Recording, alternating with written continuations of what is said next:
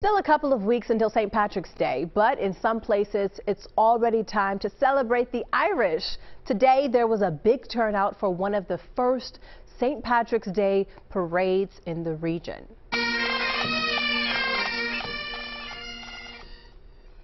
The Burlington County Parade took over High Street in Mount Holly. The crowd enjoyed bands, floats, and colorful vehicles.